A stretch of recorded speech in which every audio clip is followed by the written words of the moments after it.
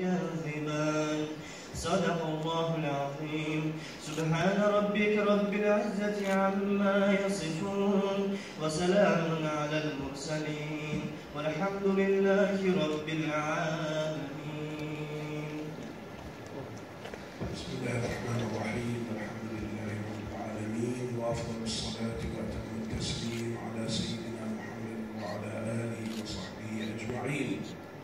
اللهم أرنا الحق وارزقنا اتباعه وارنا الباطل باطلا وارزقنا اجتنابه اللهم انا نسالك فعل الخيرات وترك المنكرات وحب المساكين اللهم علمنا ما ينفعنا وانفعنا بما علمتنا وزدنا علما برحمتك يا ارحم الراحمين Многоуважаемый Руслан Тагас Ахматович просит вас благословить нашу конференцию.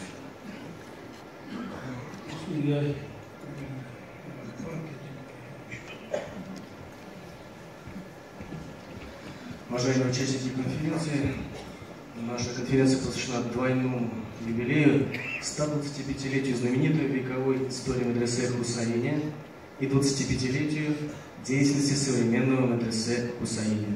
Сегодня присутствуют ученые и религиозные деятели Республики Казахстан, Крыма, Республики Мордовия, городов Москва, Казань, Уфа, Ульяновск, Самара, Челябинск, Екатеринбург, Оренбург и Оренбургской области. И гостями конференции стали студенты и выпускники медресе. Уважаемые участники, разрешите вам представить наших уважаемых гостей, членов президиума. Губернатор, председатель правительства Оренбургской области Юрий Александрович Берг. Верховный муфти, председатель Центрального духовного управления мусульман России Талгат Сафатов Жудин. Член Общественной палаты Российской Федерации Николай Петрович Науменко. Председатель Комитета по делам национальности, общественных объединений и религиозных организаций Законодательного собрания Оренбургской области Надыр Раимович Ибрагимов. Архиерей Русской Православной Церкви Оренбургской епархии, митрополит Оренбургский и Санитарский Вениамин. Профессор Международного исламского университета науки, заведующий Булгарской исламской академией, потомок пророка Мухаммада мир ему в 41-м поколении Абдуразак Абдурахман Асад. Главный имам Западно-Казахстанской области Республики Казахстан Руслан Султанов. Ректор Российского исламского университета Центрального духовного управления мусульман России Артур Исламович Сулейманов. Председатель регионального духовного управления мусульман Оренбургской области Альфит Асхатович Шарипов. Итак, уважаемые участники конференции и глава города Оренбурга Евгений Сергеевич Арапов. Итак, уважаемые участники конференции, многоуважаемый президиум, мы начинаем торжественную часть нашего мероприятия. Слово предоставляется губернатору, председателю правительства Оренбургской области Юрию Александровичу Бергову.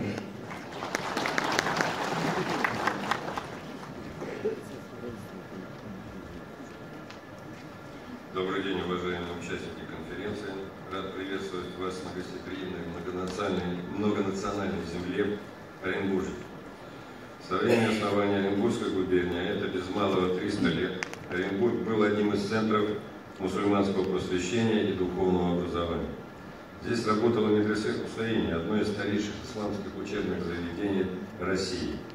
Оно было открыто в январе 1891 года в Оренбурге по инициативе и наследству известных оренбургских купцов и меценатов братьев Хусаиновых Ахмед Бая, Гани Бая, Махмуд Бая.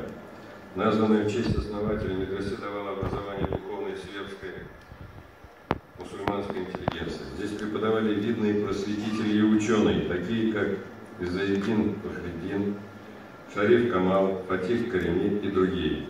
Из стен этого учебного заведения вышли многие люди, которых мы сегодня причисляем к свету татарской, башкирской, казахской интеллигенции.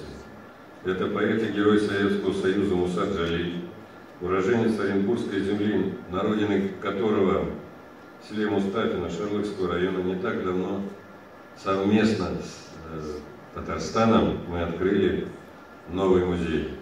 И за это я хотел бы сказать еще раз огромное спасибо президенту Республики Татарстан, э, моему коллеге э, Миниханову Рустаму Нагалевичу и всему татарскому народу. выдающийся башкирский поэт-сатирик Шейх Разабабич и казахский писатель и драматург Жан Галитель Бергенов. Это известный тюрколог и историк Валиди Ахмед Заки и многие-многие другие. После 1917 года медресе стала учительской школой. Сегодня в этом здании находится аграрный факультет сельскохозяйственного факультета. Но духовные, образовательные традиции не были утеряны, и лучшее подтверждение тому – это многолетняя успешная работа новой Хусаини. Поздравляю вас с двойным юбилеем, 125-летием медресе Хусаини и 25-летием современного духовного мусульманского образовательного учреждения Хусаини.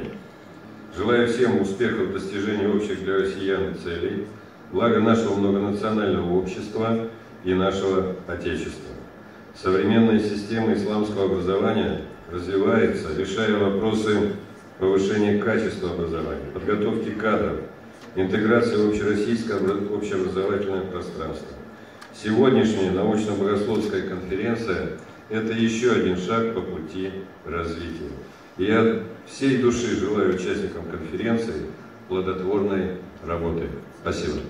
Юрий Александрович, просим вас немножко удержаться для почетной миссии. Да. И памятный подарок вручается Верховному муфтию Талгату Сафата Джудину. Пожалуйста, аплодисменты от правительства Оренбургской области. Сейчас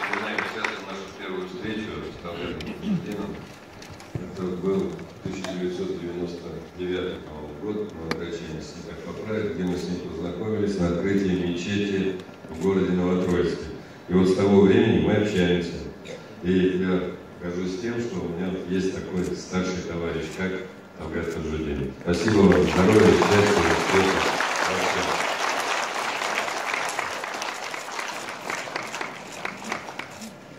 Юрий Александрович, продолжим. Благодарственное письмо губернатора, председателя правительства Оренбургской области вручается Альфиду Асхатовичу Шарипову, председателю регионального духовного управления мусульман Оренбургской области. А у нас молодой, перспективный, хороший, отличный человек. И я думаю, что вместе мы сделаем так, чтобы ему работалось легче, и все ему в этом будем помогать. Да? Спасибо.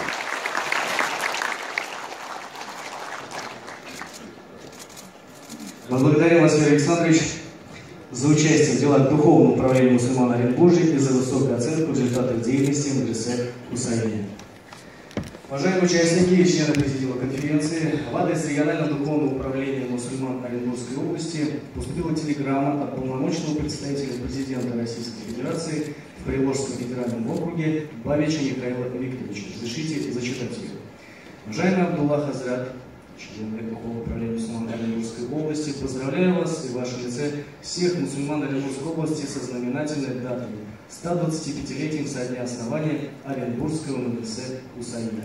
Проведение на Оренбургской земле научно-богословской конференции, посвященной вопросам развития системы исламского образования, станет вкладом в развитие отечественной исламской богословской мысли, будет способствовать дальнейшему духовному проявлению народов России, традиционно исповедующих ислам. Всем участникам конференции хотелось бы пожелать успешной и плодотворной работы, научных достижений, мира и благополучия. Полномочный представитель президента Российской Федерации по федеральному округе Михаил Викторович Павлович. Мы продолжаем наше торжественное собрание, и слово для приветствия предоставляется Верховному муфтию, председателю Центрального духовного управления мусульман России Талгату Таджидину.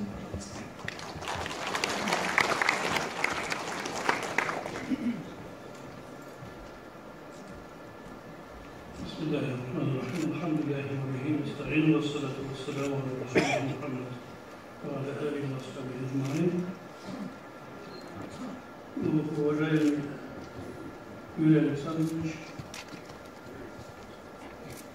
Анфис Хазрат, Ваше Высокопросвященство, Владыка Бениамин, члены Президиума, дорогие братья и сестры, участники и гости этого высокого форума, я сердечно приветствую всех вас от имени Центрального духовного управления мусульман России. Ассаламу алейкум ва рахматуллахи ва баракатух.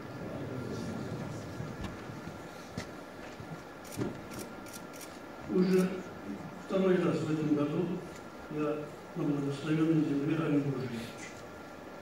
И от имени Центрального духовного управления, от всех прихожан наших общин и от себя лично я хочу искренне поблагодарить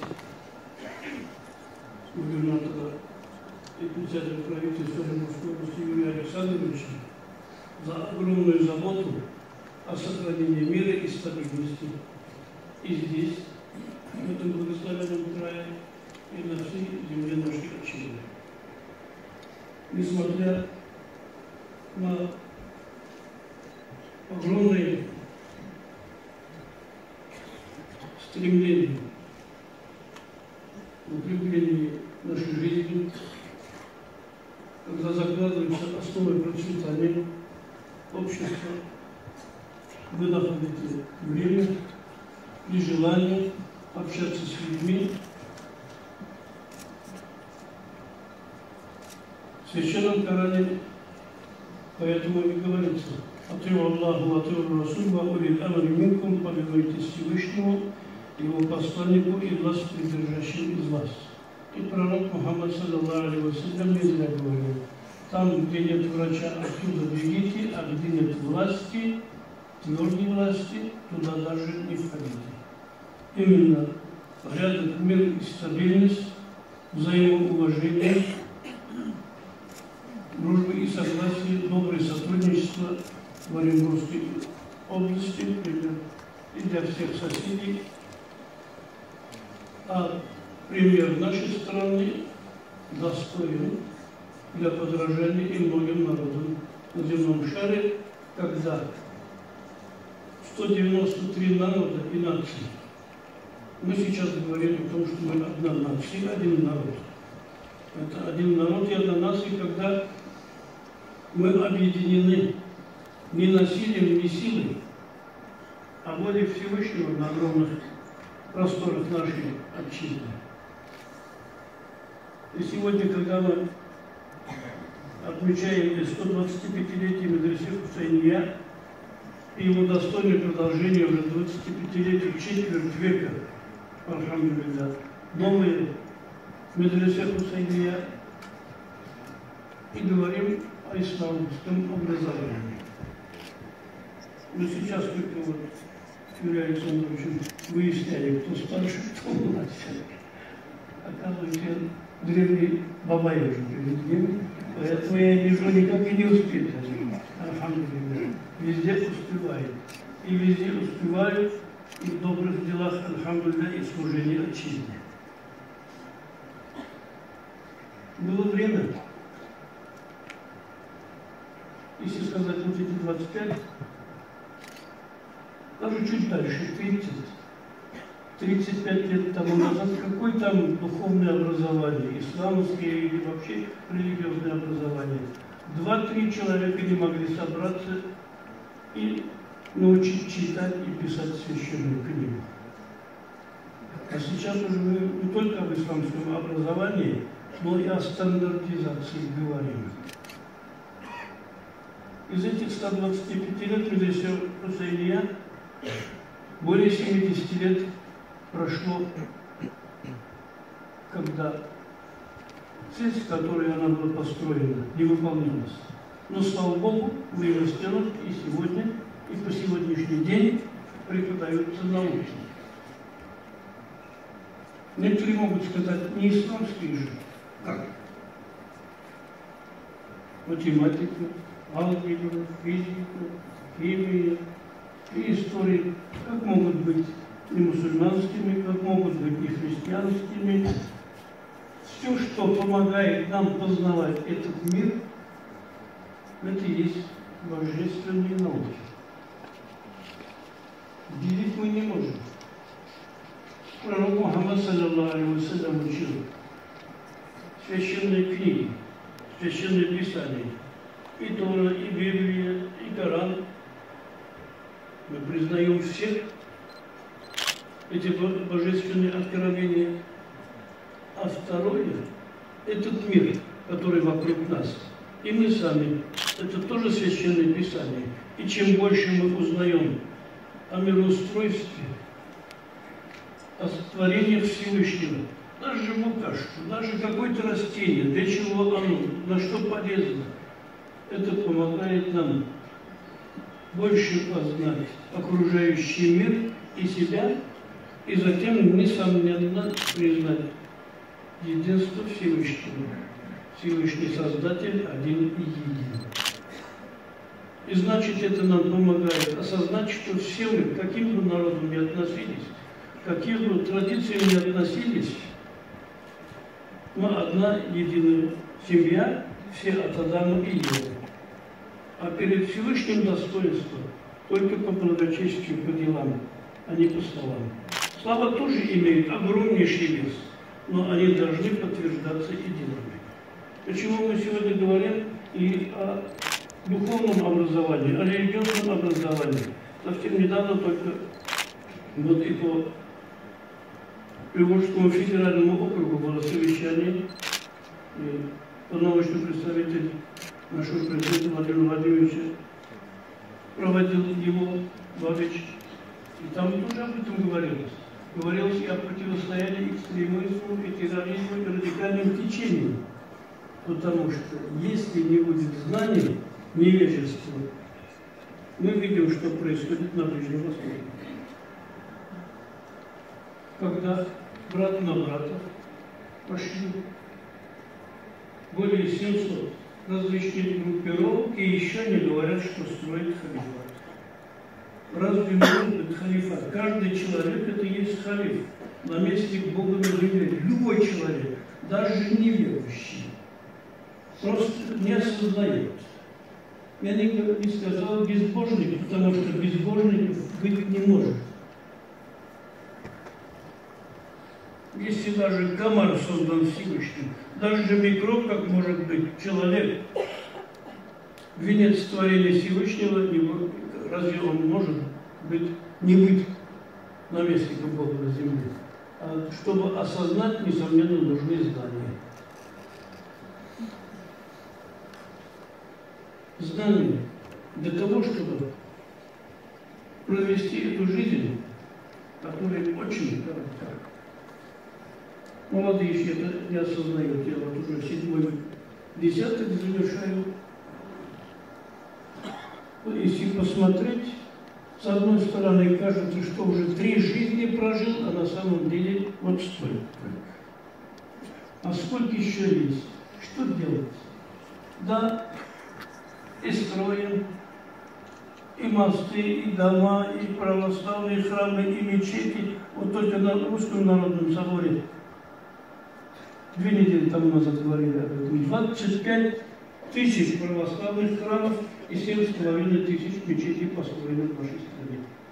Разве это не халифат? Халифат это когда всем хорошо, когда все уважают и чтят друг друга. И в нашей стране это взаимопонимание, мир и согласие есть слава Всевышнему.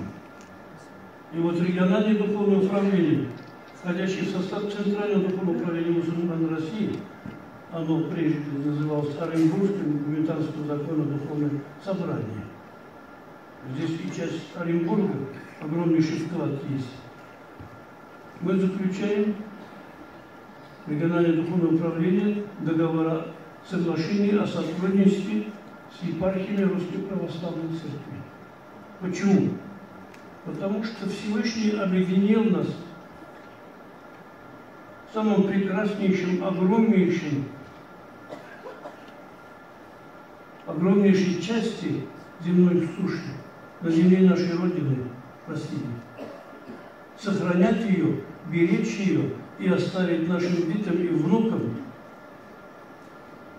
весь наш священный долг. И пророк Мухаммад, саллаллаху алейhi говорил, Хуббуль ватани миналь иман. Любовь к отчизне – часть твоей веры. Значит, если любви к отчизне не будет, патриотизм его сейчас называют. На самом деле это любовь к отчизне. Не кто-то здесь за нас что-то должен делать. Были времена 90-е годы. Ждали что? Арабы придут, мечети построят, Турки придут, там будут молиться, а мы потом гордо захотим войти в рай. Так не бывает на чужом гробу. Поэтому только когда вот эти и храмы строятся нашими кровными, хоть и скромно, и когда наши дети и внуки ходят туда, но не только в мечети быть верующим человеком, но и выйдя туда из храма Божьего, тоже не потерять эту веру и для других быть примером. Не в кровожадности, не в насилии, а в любви и доброму сотрудничеству. В священном Коране мы все видим. И это же сказано и в других священных писаниях, и в Библии тоже.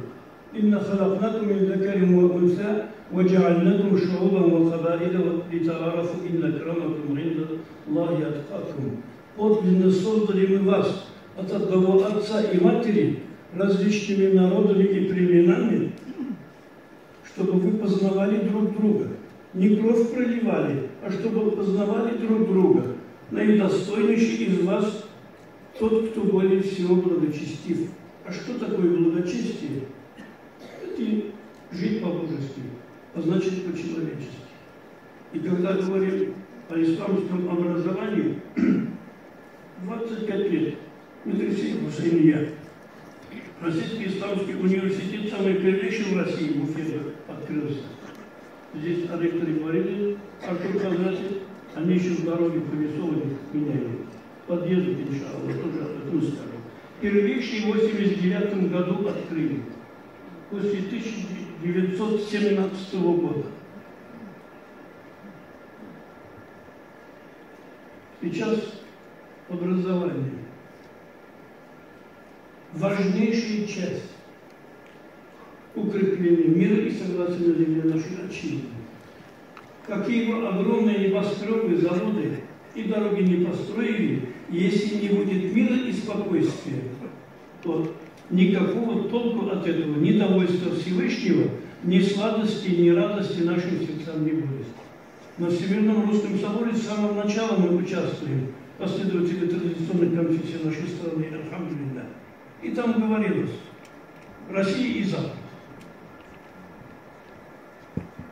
Запад. И многие проблемы поднимались. Как ему угодить, как понравится. Но мы видим, как Запад стал и западней для многих народов и для многих цивилизаций.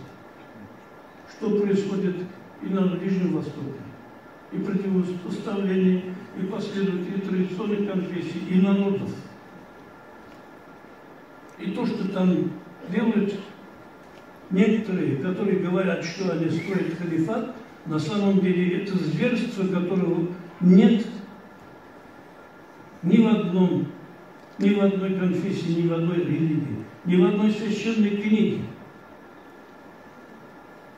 Всевышнему разве наши посты, наши поклоны нужны?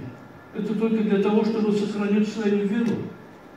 А на самом деле основа религии, основа веры, чтобы люди жили в этом мире, уважая и чтя друг друга. И мы, соотечественники одной единой отчизны, видим в тех преподавателях, которые преподают в наших пока очень малых, немного этих учебных заведений. Семь университетов, но мы пока называем университетами, будут, может, иншаллах, через 20-25 лет университетами. Но нам не докторские, не магистрские дипломы. Прежде всего, чтобы духовенство традиционных конфессий и наше мусульманское духовенство, отечественные, со всей искренностью и верой служили и Создателю, и Отечеству, и народу. Не видеть в этом профессию прежде всего. Это должно быть призвание. И видеть в каждом человеке Божие создание. Это донести до них по мере сил с чистым сердцем, с искренним намерением Божье Слово. А это не в том, как совершил омовение, сколько ошибок совершил в поклонах. Всевышний все это простит. Главное – утверждать и сохранять мир и согласие, взаимоуважение людей. Пророк Мухаммад, саллаллаху алейхи вассалям, говорил, «Лан тадхулю джанната хатта ту'мину». Вы никогда не войдете в рай, пока не уверуете во Всевышнего. «Валан ту'мину хатта тахаббу». Но и по-настоящему не уверуете, пока не полюбите люди друг друга. أفلا أدلكم إلى شيء إذا فعلتموه تحاببتم أفشوا السلام بينكم указать ли вам путь, которым вы достигнете и любви между друг другом, веры и рая. Распространяйте мир и спокойствие. Приветствуйте друг друга. Живите в мире и спокойствии. И тогда, несомненно, и любовь, и взаимное уважение, и вера проникнет в ваши сердца, и Всевышний, и в этом мире, и в вечном будет доволен вами. Я искренне поздравляю всех выпускников Медресе Хусейния и всех теперешних студентов, и тех выпускников, которые служат на духовном поприще, с тем, что Всевышний избрал вас для служения Ему, отчизне и людям. Алейкум ва рахматуллахи та'аля ва баракатуh. Благодарим вас, благодарим Александр президент и просим вас вручить награды нашему учителю.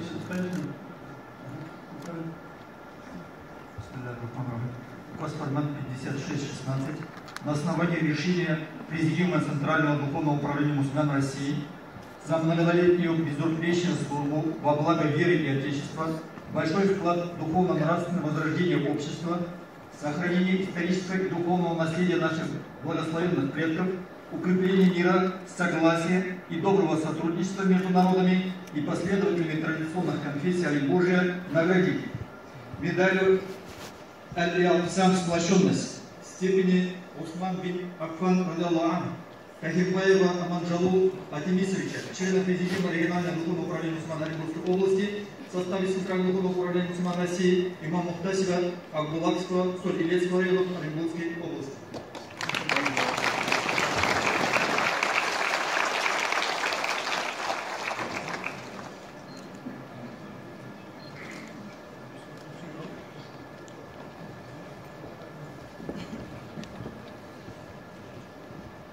Также медалью Али Исам сплощенность степени Али бин Аби Талай Радиалла Ан наградить Семенова Дениса Николаевича, преподаватель медресе Хусейния, регионального духовного управления Оренбургской области в составе Центрального духовного управления мусульман России.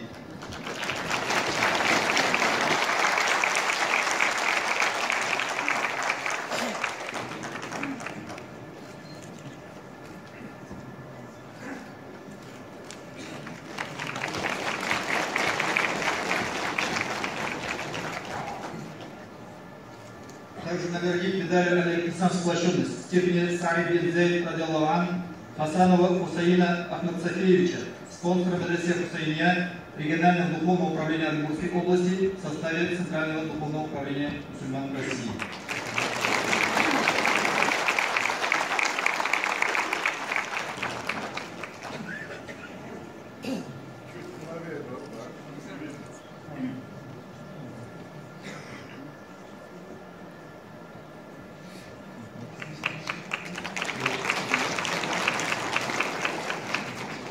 Благодарственное письмо. Уважаемый Кустубай Гумарович, сердечно благодарим вас за активное участие в жизнедеятельности мусульманской умы города Оренбург, за поддержку и большой вклад в духовно-нравственное возрождение общества, укрепление мира, согласия и доброго сотрудничества между народами и последователями традиционных конфессий России. Да воздаст вам всемогучий Аллах за ваши добрые деяния и намерения добрым здоровьем, благополучием родных и близких, процветанием, приумножением успехов и истинным счастьем обоих миров, глубочайшим уважением добрыми молитвами, шейх Ислам, Талгат Сафат Аджудин, Верховный Муфтий, председатель Центрального духовного управления мусульман России.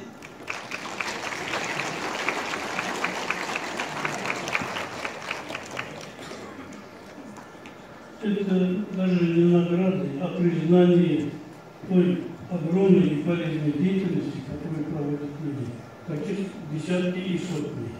И вместе с нами вот сейчас и перед началом нашего заседания говорили о нашем дорогом госте, потомке пророка Мухаммада, саллаллаху алейхи вассалям, профессор Шейх Абдурахман Асади. Вот уже не просто блуждали, а по-настоящему приобретать знания и в академиях, и в наших учебных заведениях. Мы сердечно благодарим наших пожилых ровесников моих, которым по 70, по 80, по 85 лет. И таких большинство сегодня в наших общинах. Почти что 80 процентов. Только что я говорил о том, что 7,5 тысяч учителей. Если вот эти наши учебные заведения духовные не подготовят в самое ближайшее время достойные кадры, то кто будет там проповедовать веру нашу? Именно поэтому это и наши общие задачи, и на государственном уровне, слава Всевышнему, решается. И образован и фонд поддержки исламской культуры, науки и образования, который уже 5-6 лет действует.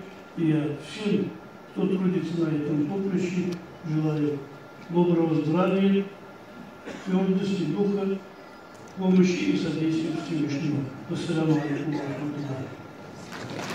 Мы благодарны вам, уважаемый Ислам Павлас, Директор Центрального духовного управления мусульман России за поддержку и за активное участие в жизни мусульман Оренбуржья. При вашем участии прошли многие знаковые мероприятия.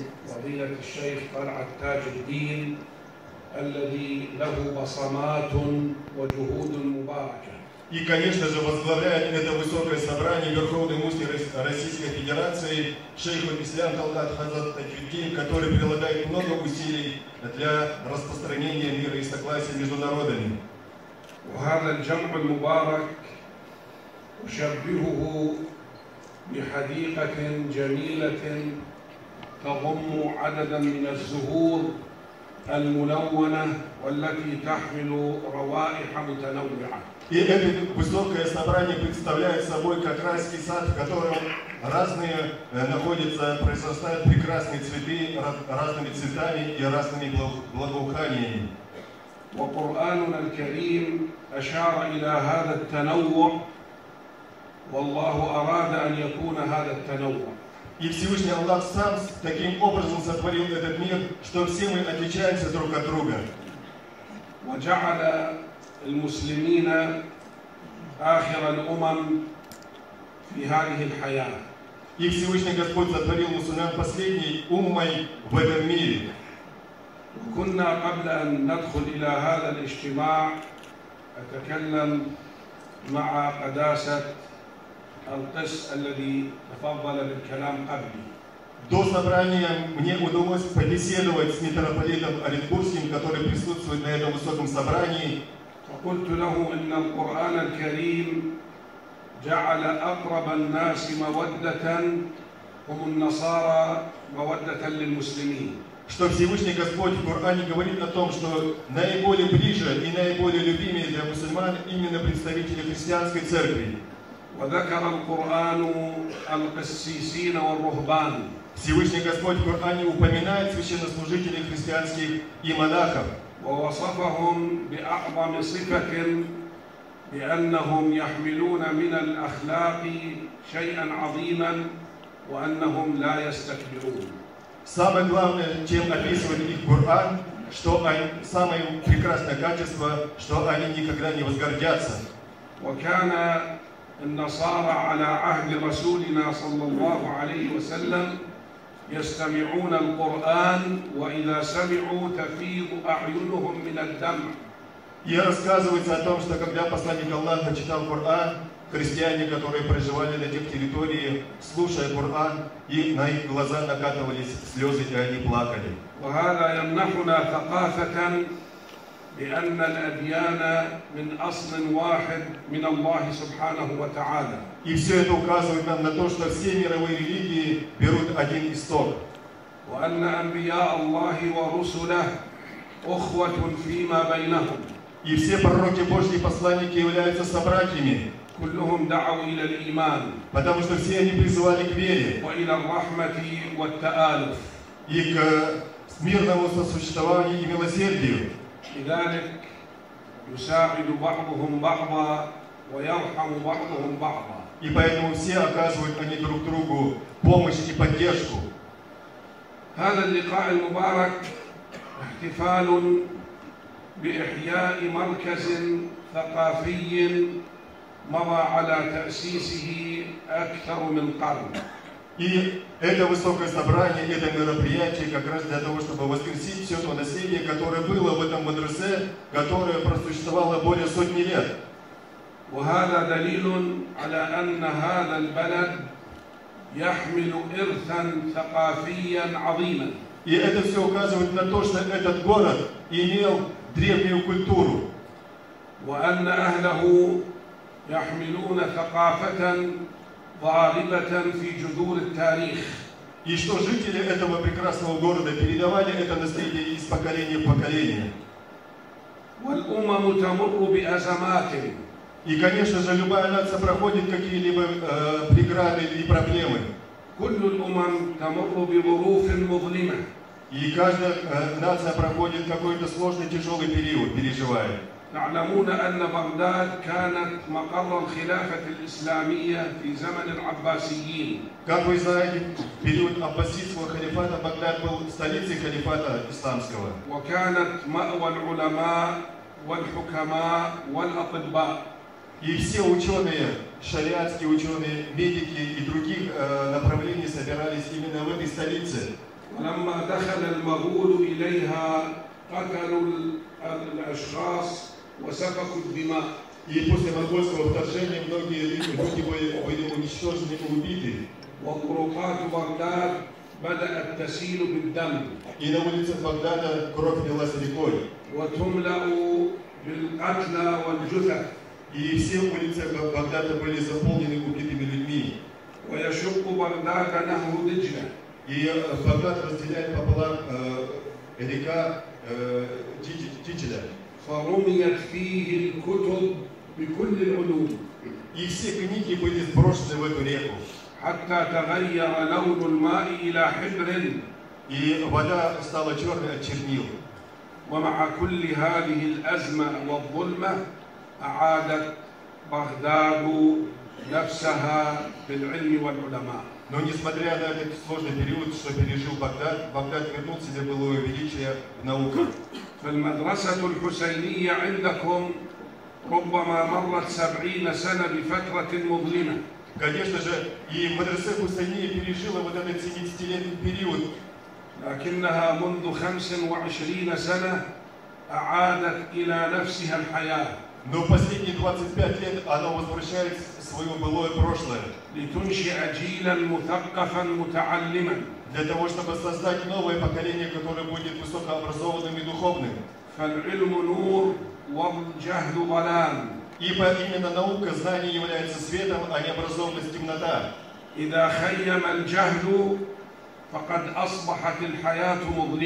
Потому что если общество необразованное, то все люди будут находиться в темноте незнания. وإذا جاء العلم نور العقول والقلوب وطرد الظلمة А именно на- наука образования освещает сердца, души и разум людей. وما نراه في العالم من إرهاب وقتل وتفجير كله بسبب الجهل И все, что происходит в современном мире, убийства, террористические акты, основной причиной всего этого является необразованность. الجهل بالأديان وبدعوة الرسل Э, необразованность людей, незнание о мировых религиях, к чему они призывали. لذلك لا ينبغي أن ينسب الإرهاب إلى دين И поэтому не является неправильным причислять, приписывать какой-либо терроризм какой-либо из мировых религий. فالإرهاب لا دين له Потому что у терроризма, экстремизма нет религии. والتاريخ شاهد على ذلك И, конечно же, история свидетельствует нам об этом. فكلنا نعلم ما جرى للمسلمين في الأندلس بما يسمى محاكم التفتيش Как вы знаете, все мы знаем из истории, что происходило с мусульманами в Андалусии. كان الغزاة يضعون المسلمين في القدور الكبيرة ويغلوهم بالزيت Э, Когда э, крестоносцы мусульман заживо варили в котлах, وهكذا نرى الإرهاب الآن ينسب ظلما وعدوانا إلى الإسلام والإسلام بريء منه и, конечно же, сейчас говорят о том, что исламский терроризм, но ислам не имеет никакого отношения к этому терроризму и экстремизму. كل عاقل ينكر الإرهاب Каждый разумный человек отрицает э, терроризм, ولا يرضى به لأنه مفسدة في الأرض потому что это уничтожает э, э, землю и жизнь. لكن علينا أن لا نبقى نتباكى من الإرهاب وإنما علينا أن نفتش ما هي أسباب الإرهاب Но мы не должны мол- молча смотреть на то, что происходит, мы должны расследовать, рассматривать причины этого экстремизма и терроризма, حتى نضع العلاج لطرده وقمعه для того, чтобы найти методы и способы, чтобы э, защитить нас и наше потомство от этих э, лжеучений. فالإرهاب مرض Потому что экстремизм, терроризм является заболеванием. والطبيب لا يمكن أن يعالج المريض إلا أن يعرف المرض И доктор сможет вылечить это заболе- заболевание только если будет знать причину этой болезни, وأن يعرف أسباب حصول المرض по которым случилось это заболевание. الإرهاب له أسباب كثيرة У терроризма, экстремизма много причин. لا أطيل عليكم في ذكرها Я не буду затягивать, чтобы упоминать все эти причины, وأذكر سببا واحدا وهو ضعف التعليم الديني но я укажу главную причину – это слабое религиозное образование. لأن الذين يتولون التعليم الديني مشكورين ولكن لا بد أن يكونوا من العلماء المتمكنين Конечно же, э, доста- достойны уважения все те люди, которые занимаются исламским образованием, но уровень их должен быть еще выше. ولا بد أن نضع تشجيعا لمن يتعلم ويدرس العلم И, конечно же, надо способствовать для того, чтобы молодежь получала высшее религиозное образование. أما أن يترك التعليم الديني مهملا دون تشجيع فهذا مبعث للجهل Потому что, когда мы упускаем этот момент, не обращаем внимания на э, образование, то как раз из этого и получается, что общество необразованное не знает основ религии. لذلك نجد الإرهاب يتعشعش في الأماكن التي يجد فيها مجتمعا جاهلا И поэтому мы видим, что э- эти идеи экстремистские, террористские закрепляются именно на, на той территории, где нет образования. ولا يمكن أن يأتي إلى مجتمع فيه علم وثقافة Но не можем проник- проникнуть на те территории, где всегда были, было образование и культура. لذلك تسجل من فضائل سماحة شيخ الإسلام طلعت جا- تاج الدين أنه اقترح إقامة أكاديمية إسلامية للدراسات العليا في مدينة بلغار في جمهورية تترستان И, конечно же, заслугой шейха Ислам, Верховного муфтия Талгат Хазрата э, является то, что он стал причиной открытия Булгарской исламской академии в Татарстане. وقد وافق مشكورا رئيس روسيا الأعلى الرئيس بوتين И эту идею поддержал э, э, президент Российской Федерации Владимир Владимирович Путин. ورئيس السيد رستم رئيس جمهورية تترستان يتابع هذا المشروع بدقة А э, уже президент Татарстана Рустам Нургалиевич э, руководит организацией и строительством этого, этой академии. وهي خطوة صحيحة في طرد الإرهاب وقطع هذا المرض И, конечно же, это является э, правильным проектом, очень необходимым для того, чтобы прекратить и э, бороться э, со всеми экстремистскими и террористскими идеями. أملنا أن يستمر هذا التعايش في هذا البلد الجميل И Я надеюсь, что мирное сосуществование в России так и будет продолжаться. وأن تستمر فيه الثقافة И что культура тоже будет и образование процветать. فالشعب الروسي معروف بثقافته وعلمه وتآخيه Потому что мы знаем э, о культуре, о мирном сосуществовании и поддержке между народами Российской Федерации. وأنه شعب متطور ومثقف ومفكر Что, что народ Российской Федерации образованный, культурный, просвещенный народ. نبغ فيه الفقهاء والشعراء والمؤرخون Что всегда э, в российском обществе были историки, ученые, факихи. وكلنا نتابع المؤلفات العظيمة التي تركها علماء المسلمين التتر И мы все знаем и читаем труды, которые были оставлены для нас э, татарскими учеными и богословами. وانتفع منها ملايين الناس И миллионы людей до сих пор получают э, пользу из этих трудов. ولا زالت تدرس إلى يومنا هذا И по сей день эти труды изучаются. أنا سعيد جدا بهذا الجمع المبارك Я очень счастлив участвовать на этом высоком собрании. ونأمل أن نلتقي دائما على خير وسعادة И я надеюсь, что мы и дальше будем встречаться в благе и счастье. شكرا لكم Спасибо большое. السلام عليكم ورحمة الله